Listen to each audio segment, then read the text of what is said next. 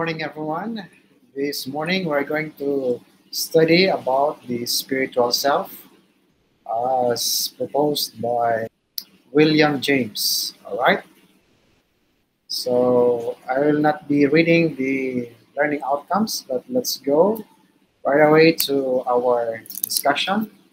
The ability to use moral sensibility and conscience may be seen through the experience of religion, its beliefs and practices.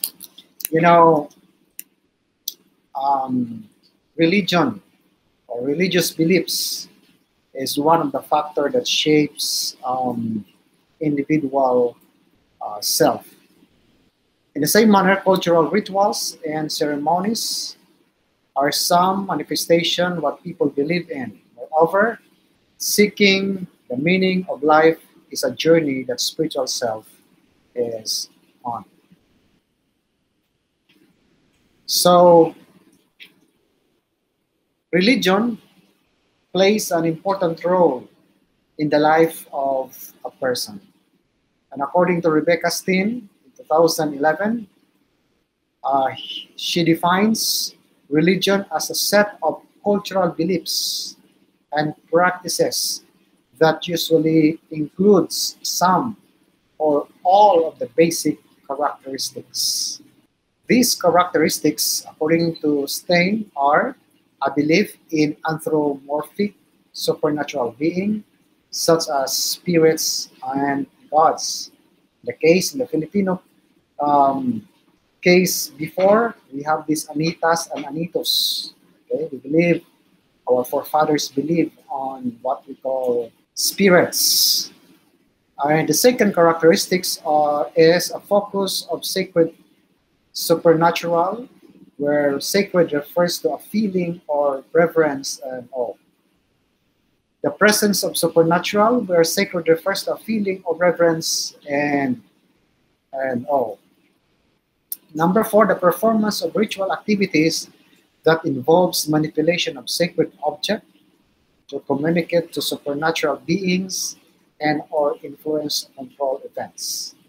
So many Catholics nowadays they are using the rosary as a sacred um, way of communicating to God through prayers. They have that reputation.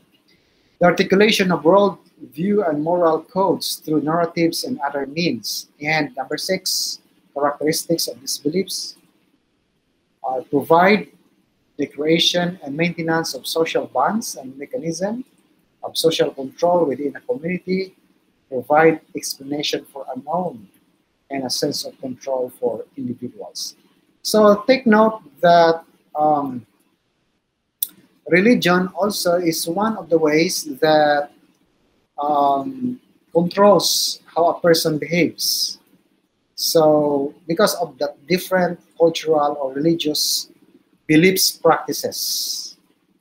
One classic example I can give you when you give to a Muslim something, you should give it with your right hand. And when you receive something from Muslim, you should receive it with your right hand because they believe that right hand is good and left hand is evil. So these are one way, or this this is one of the classic example of um, different way of, of doing things as influenced by um, religion.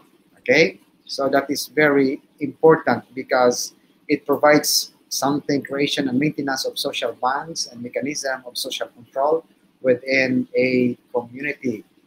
Um, religion sometimes, you know, is one way of controlling a group of people.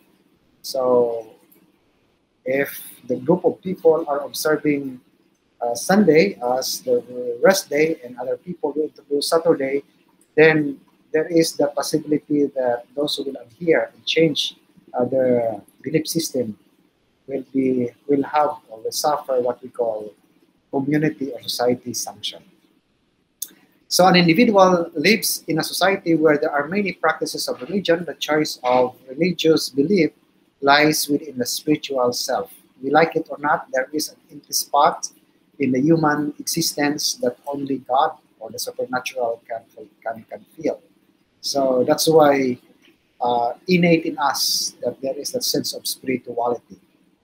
And as Christians, we believe that we are created after the image of God, and there is that spiritual component in that creation, ladies and gentlemen. Although the choice may be influenced by society and its culture of its practice. So another thing that we need to consider in, in religion is the rituals. It is it is the performance of ceremonial acts prescribed by tradition or by sacred law, according to Penner in 2017. Ritual is a specific observable mode of behavior exhibited by all known societies. So every religion has its own rituals and practices. Thus, it is possible to view ritual as a way of defining or describing human beings. Uh, later on, we will uh, discuss on what are the different rituals by different religion uh, in the world. So three fundamental characteristics of rituals according to Penner. Number one, a feeling or a feeling or emotion of respect, awe, and fascination or dread in relation to the sacred. So there are you know objects of every religion that they consider it as sacred. So they pay respect, so much respect on that particular object. Number two, dependence upon a belief system that is usually expressed in the language or myth. And number three, characteristics of ritual is symbolic in relation to its reference. Um, there are some religious or uh, religious beliefs and practices in the world. So there are different religions with different beliefs and practices. Some of the major world religions uh, in a contemporary times are Buddhism, Christianity, Hinduism, Islam, and Judaism. So let's consider these five um, religious beliefs around the world. Let's go to, to Buddhism. Buddhism, their beliefs, it teaches that life is unsatisfactory. There is that longing for more, okay? Uh, because we are not, you know, uh, as a person, we are not satisfied of what we have. So there is that, it teaches about life and unsatisfactory.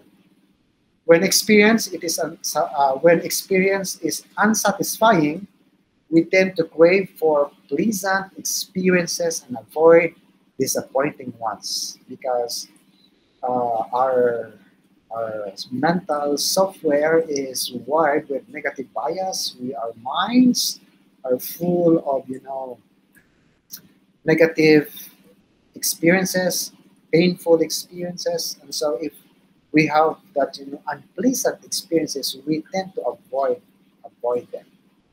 Our habits tie us into a reactive cycle of craving and aversion. So Buddha thought that the way to break this cycle of you know, painful experience is to practice ethics and meditation. So Buddha proposes if you want to have satisfactory life, you need to live an ethical life and meditation and cultivate wisdom. You learn from your experiences, which is a deep understanding and acceptance of things that they are. So Buddhism, their customs and practices.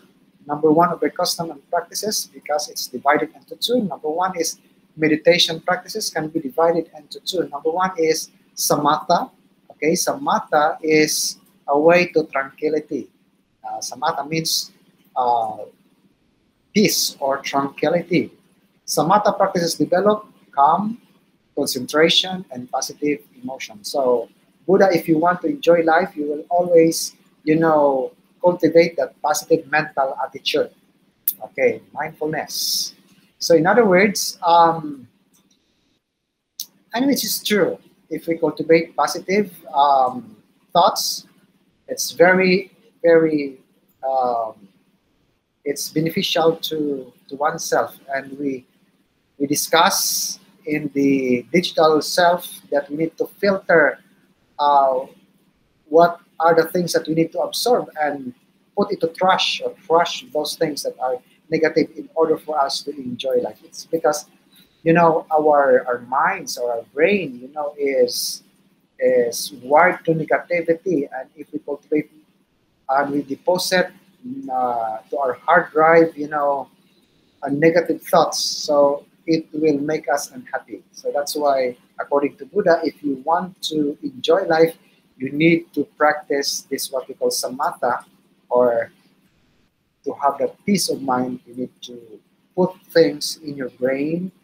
or those things that are positive. Number two is uh, custom uh, meditation. Uh, number two, practice of meditation is they call it vipassana. Vipassana, a practice aimed at developing insight into reality, developing and cultivating wisdom happens through studying, reflecting the Dharma, the Buddha's teaching. So uh, you need to read and meditate on the Dharma, which is equivalent to us questions as Bible. As you engage on that uh, writings of Buddha, then you can have the insight that, that you need. All right. So Buddhism, Buddhist celebrates a number of festival uh, time to the full moon. Number one is Parinirvana uh, Day in February, Buddha, we call it Buddha Week, uh, Wesak in May, and Dharma Day in July, and Padma Sam Padma Sambhava Day in October, and Sangha Day in November all are important events to celebrate together and to contemplate the key teaching of Buddha. So those are the uh, festivals I mentioned uh, a while ago practiced by Buddhists. Now let's go to Christianity. The Christianity, their beliefs are actually Christian believe that God become fully present in the world in the person of Jesus Christ. We believe that Christ uh, incarnate. Um, he was born from Virgin Mary, as we all know, and that uh, the presence of Jesus Christ to the world is a way of saving the world from condemnation of sin.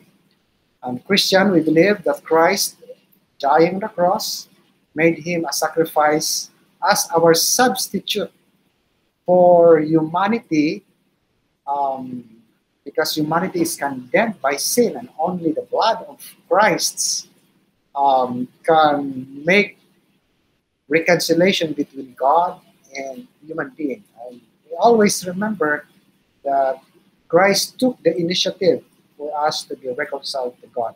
Therefore, uh, salvation is given by God, and it's not something that we need to work out. All we have to do is to accept Jesus Christ as our personal Savior, and the basis of our salvation is by way of our um, obedience. So that's it. So the, the death of Christ at the cross guarantees us all that salvation. So that is the core doctrine of Christianity. And there are also customs and practices by Christianity. One becomes a Christian through a sacrament of baptism, and the Catholics are, you know, very, um, uh, the Catholics are using this that if you want to be Christian, uh, before a child, uh, an infant should be what we call be uh, Christianized by way of baptism through um, sprinkling, okay, water ceremony. But in some Christians, they instead of sprinkling, they use it as immersion as a way of, of baptism. Because according to Paul in Romans chapter 6, verse 4, baptism has three symbolism. One is um, death, burial, and resurrection, according to Paul. So, as Christian, as you accept Jesus Christ, as your personal Savior, you need to, you know, accept Christ through baptism. But you know, baptism is not a means of salvation; it's actually a manifestation of that inward conviction that you are you believe on the death of Christ at the cross. So, There are three symbolism according to Paul in Romans chapter 6, verse 4. The death, it means that we need our old self, our old nature will die, and that old nature will be buried in a watery grave, and when you come out from the water, you are uh, resurrected to new life. So, according to Paul in Romans chapter 5, verse 17, if we are in Christ, you are a new creatures and the old things have passed away. So, that's uh, some Christians um, uh, they believe on, on that concept, while others, you know, sprinkling and others are doing pouring in order for them to become part of the Christian family. They also follow Jesus' instruction of taking bread and wine and declaring this as his body and blood offered in the sacrament, also the sacrament of Holy Communion. Um, there is, you know, a disparity or, you know, different understanding of the body of Christ. The Catholic believe that when the priest uh, said, um, hoc is corpus meum, that the uh, blood, that, that the wine and the bread will become literal, uh, the bread will become the literal flesh of Jesus Christ to be eaten by everyone. And the, the wine is represent the blood of Jesus Christ will become a blood of Jesus Christ when the priest will say, Hoc is corpus meum. Uh, but some other Christians, you know, they have different understanding that the bread is just a symbol, uh, and the wine is just a symbol of of the blood of Jesus Christ, and the bread symbol of Christ's body that was broken for uh, redemption of, of the people. So customs and practices, the principal Christian festivals are Christmas. We believe uh, many Christians uh, believe that Christmas um, is the birth of Jesus Christ in December 21. it is where the birth of Jesus that is being remembered, but other Christians believe that Christ was not born in December because it's too cold in Palestine. Uh, but many Christians, are also Christians, believe that Christ was born between the month of March or, or April. So we have also this Easter, uh, the day when Christ was resurrected from the dead. So there was that, you know, procession sometimes we witness during Semana Santa. So those are the beliefs, major beliefs of Christianity. And the second one, the third one that we're going to discuss is Hinduism that also shapes the self. The term Hinduism was coined recently uh, as the 19th century to cover the wide range of ancient creeds, textual traditions, and religious groups. Hinduism is best understood as a complete way of life. So Hinduism, it means a way of life, a path of sanctification and discipline that leads to higher level of consciousness.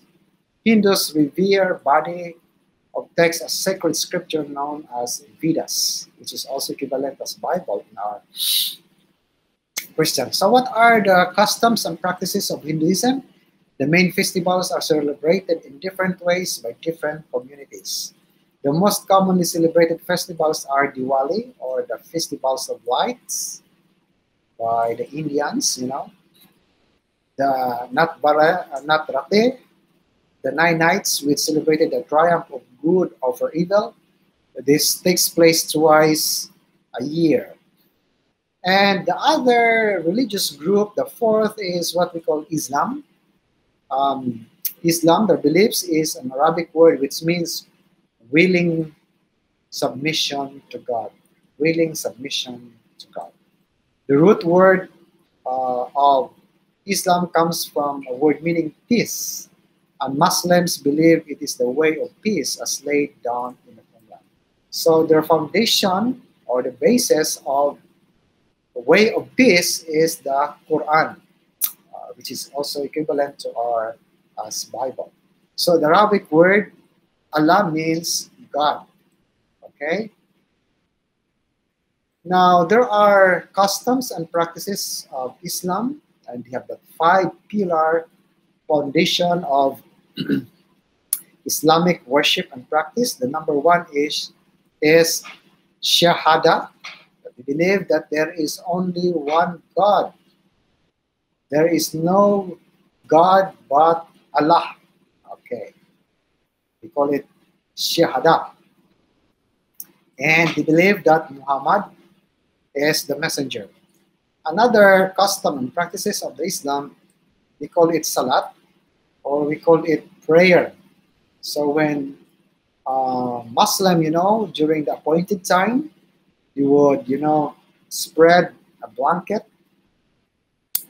and facing uh, Mecca, they will pray five, five times a day uh, at dawn, at noon, mid-afternoon, uh, 3 o'clock, I think, in the afternoon, a sunset, and after dark. So all of them will just spread their blanket or mat, Mecca, and pray. And the, one of also of their practices and custom is what we call zakat.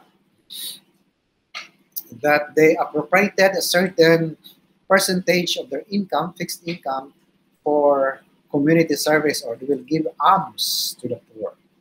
We call it they call it zakat. And another, the last is what we call, or the second to the last is Hajj or the pilgrimage. That if um, money and health warrant, um, a person should go to Mecca. And in Mecca, there they will go because Mecca, they believe that Mecca is the sacred place um, where uh, sacred place or holy place uh, for the Muslim. And they believe that in Haram Mosque in Mecca, it is where that they believe that Abraham built um, a house for God. So that's why they considered it uh, in Haram Mosque as a sacred place. And you will be honored by the family if you can go to Mecca.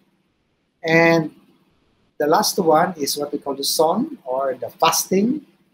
And they, you know, design a festival that for a certain period of time nobody will eat, but we have to fast. So the end of Ramadan marks the beginning of festival of Eid al-Fitr, and Eid al-Adha coincide with the competition of Hajj and unites whole Islamic uh, community.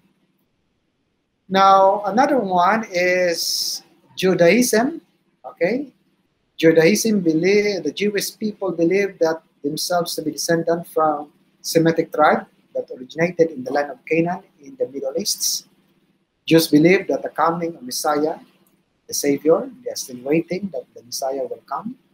Study and interpretation of Torah is an integral part of the Jewish life. In other words, at the age of 12, um, children are must be conversant or be knowledgeable of the Torah uh, because the Torah is the total instruction of God.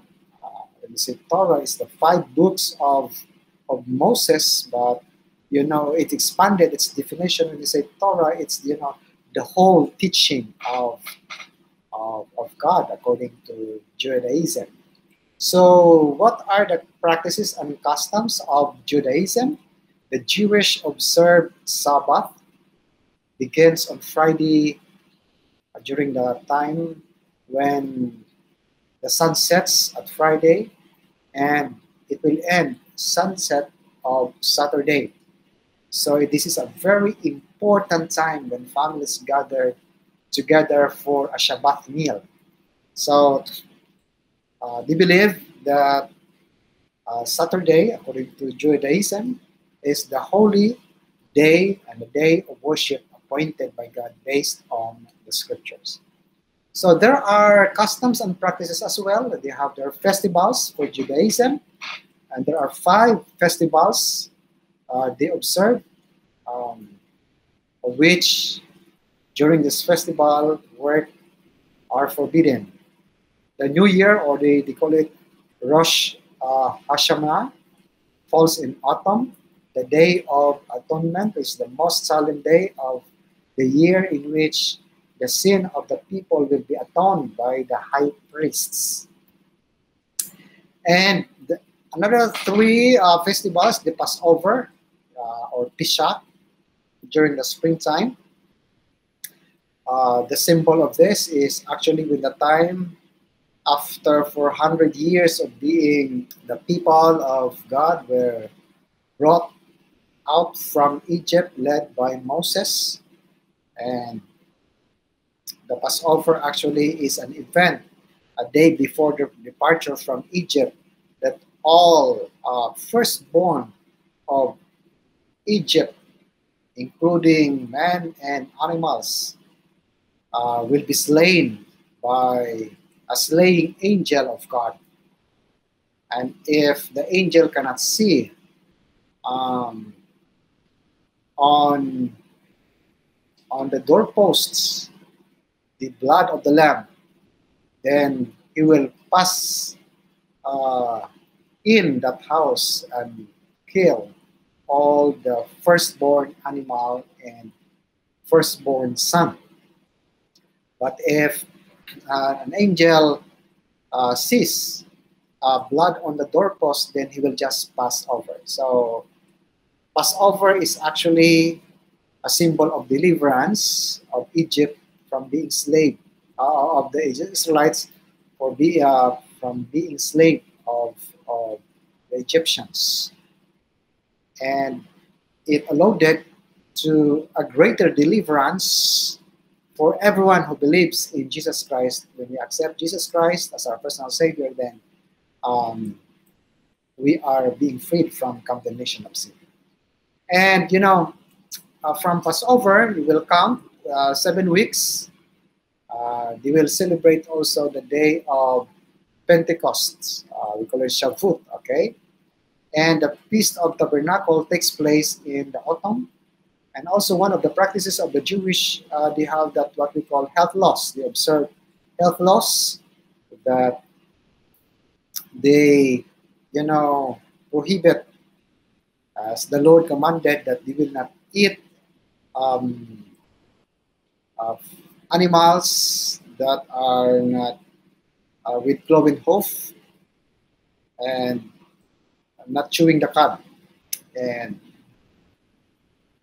one of the things that also um, not allowed by God to eat according to the Bible and according to Judaism is those uh, fish who have scale and you know fins. So they are not um, allowed to eat those kind of, of food according to that is uh, those are the uh, feast and customs and practices of the Jews. So religious beliefs, rituals, practices, and customs are part of the expression of spiritual life. So every religion has its own customs and practices, and it's some uh, and it also shapes uh, uh, how self is developed. So religious beliefs and practices therefore are formed relative to its context and culture. So the shaping of the self is contributed by culture, by family dynamics, um, by what we have seen in the digital world. Those are the things that you know shapes our ourselves. So, how can we find and create meaning of, of life? So it's very important that we have that spiritual self. How can we find meaning and purpose of life? So another extensive study of self can be found in the works of uh, Dr. Viktor E. Frankl. Um, the Viktor Frankl Institute in Vienna was created in 1992. The institute was a website. There is a synopsis of his life and works and present program. So one of the things that proposes by Dr. Frankl is actually the logotherapy or the word meaning. This is a validated uh, revolutionary approach to psychotherapy known as logotherapy. The logotherapy has become known as the third Viennese school of psychotherapy after Sigmund Freud and Alfred Adler. So according to logotherapy, meaning can be discovered in three ways. One, by creating a work or doing a deed. So if you do something good, uh, for the community, you can find meaning and purpose of life. Number two, by experiencing something or encountering someone. If you have that, you know, good connection with other people, you know, you have that feeling that you have that, you know, a feeling of growth. And by attitude, we take toward unavoidable experiences. So our interpretation of the event matters really when we are in the state of suffering according to Viktor Frankl. All psychotherapies make a philosophical assumption about human persons that cannot be proved with certainty. So human beings is an entity consisting of body, mind, and spirit. Life has meaning under all circumstances, even the most miserable. People have a will to meaning. So sometimes people, if they don't find meaning in their lives, um, they have that, you know, mindset of come what may. But if you want to uh, know things and do things in a meaningful way, then you can find purpose and you can find happiness. Life has a demand of quality to which people must be responsive if decisions are to be meaningful. So there are three possible sources of meaning of life. Number one is purposeful work. Okay, charity, act of charity. To find meaning of life starts with holding a future goal. What do you want to be in life? What are the things that you need to contribute to improve the quality in living condition of a person? Number two, courage to face difficulty. We cannot you know, detach ourselves from challenges and difficulty. We have difficulty, but we need to face it uh, courageously. We need to to handle life difficulties, recognizing suffering, pain, and death as part of life, and have to courage to face these life difficulties. In other words, you know, if we have difficulties, it reminds us that we have unlimited, uh, we have limited time on earth. And we need to fulfill our projects, our goals before our um, life ends so that we can pass on to the next generation this legacy. So those are the things. And the thing is, we need to practice love. Frankl considered transcendent power of love Love goes very far beyond physical person of the. Frankl contributes to history of richest definition of love. Love is the only way to grasp another human being in the innermost core of his or her personality.